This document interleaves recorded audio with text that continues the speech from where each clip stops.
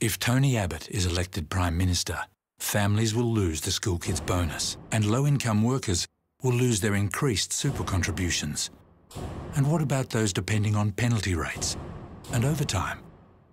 12,000 people will lose their jobs and he'll cut billions from education, including those schools that need it most. If he wins, you lose. Authorised G. Wright, ALP Canberra.